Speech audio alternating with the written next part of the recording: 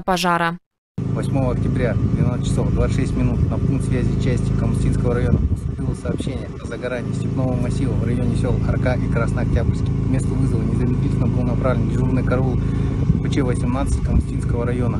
Учитывая неблагоприятные погодные условия, к месту вызова дополнительно направлена группировка сил и средств ДЧС Костанайской области численностью 70 человек личного состава и 14 единиц техники.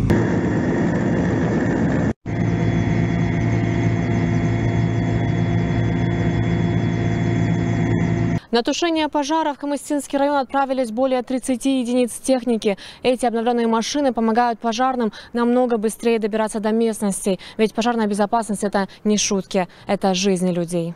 Новое форменное обмундирование получили пожарные в прошлом месяце этого года. Удобная форма и обувь приспособлены для выполнения задач любой сложности, что позволяет спасателям работать еще оперативнее. Также в этом месяце в пожарную часть прибыла новая техника. Это два новых грузопассажирских вездехода для работы в опасных местах и беспилотный летательный аппарат для разведки территории.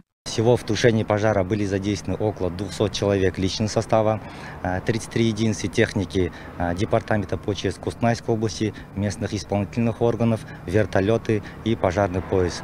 Всего было осуществлено 7 сбросов воды общим объемом более 14 кубометров.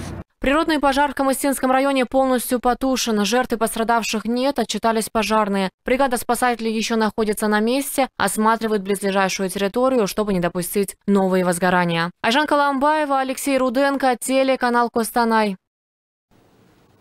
Поставку крупной партии на свая и снюсов пресекли в Кустанае. Полицейские при координации прокуратуры области задержали 37-летнего водителя фуры, который незаконно доставил груз из Шимкента на один из торговых рынков.